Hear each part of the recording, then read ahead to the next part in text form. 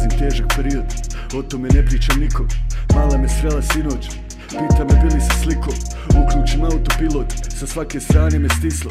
Nema gdje nisam bio i svugdje manje više je isto. Ja sam stranac u tuđoj kući Ja sam vruć kad je hladno Čekam loše juče je bolje sutra I što je bolja vutra manje je mračna Rane me odavno više ne boli Ne brini nemaš ti ništa sa tim. Može moj ona se kune da volim A ni na tren me ne prestaje lagati. Sve mi se čini da nije mi dobro Ljubomoran sam na svoju mačku. Spava jede van i baci sračku. Zaganja miša pa nazad u gajbu. Radim ono što moram Da bi dobio ono što želim.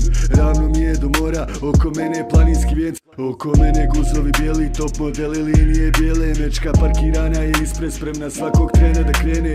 Ne fali ništa Samo se opusti ovdje špica. Tamo su propusti sale igrač Recna kako se dakle dolazi Šta ćeš da pjevati Ti? Ćeš zvijezda, to ti obećavamo. samo se skini, malo ga pipri Nemoj da stidiš si tvoj prvi singl će da bude hit. A ova linija ide za nevjerne cure i druge šanse Za glumice lokalne naše, lake kurvo od mene makse Hajde, umjesto da igram lopte sa sinom Ja gubim vrijeme za svako što dođe mi Na prvi pogled. To izgleda fino, al burazi kurvanja vjeruj mi dovdje mi Zarolam Babilon odem gdje nikome ne može naći. Tako u potrazi za sami sobom još jedan zapalni prije nego što se